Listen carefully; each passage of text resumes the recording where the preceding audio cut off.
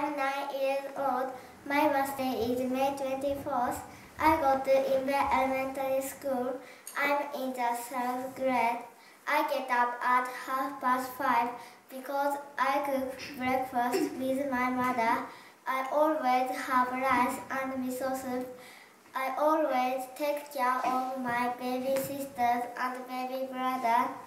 I play basketball after school because it's very fun. I like fashion and singing, so I want to be a model and a singer. Thank you.